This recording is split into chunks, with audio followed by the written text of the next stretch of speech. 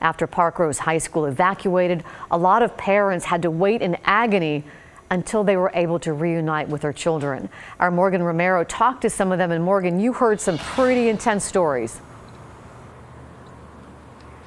Yeah, I did. And when I first got to this area, which was the reunification area and command center, parents were filled with anxiety and fear, not knowing what was going on. That was before the lockdown was lifted. But as their students came in off buses, I saw the most incredible embraces, tears streaming down parents' faces, teenagers just squeezing their parents so tightly, not wanting to let go.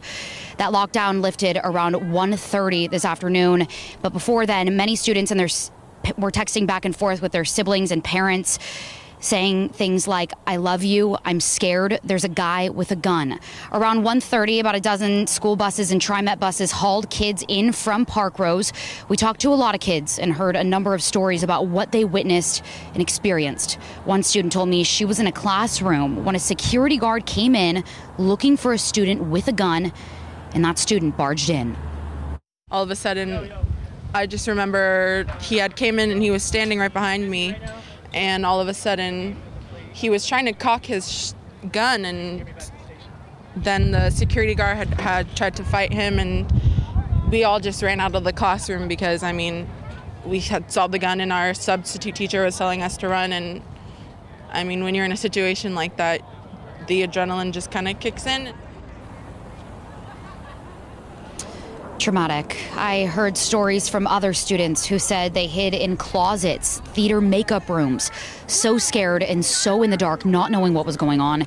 Now, students and their parents are feeling relieved and grateful this didn't end up in tragedy. I didn't know if it was real because usually our drills happen, but then I was like, she just said lockdown, we're on lockdown, and then like the overhead audio stuff went off, and then we're like, well, is it real? Like, I don't know what's going on. We were in the middle of a test. I'm going to probably speak for a lot of the parents that we're happy that our kids are safe and that this was not a worse situation since we hear so much about all these horrific school shootings now. And there was a formal process for kids getting off those buses. They were checked off a list and then they were escorted to the tent area where the command center was, where their names and parents' names were announced over a megaphone. I have to tell you, as soon as a lot of them reunited, they got out of here.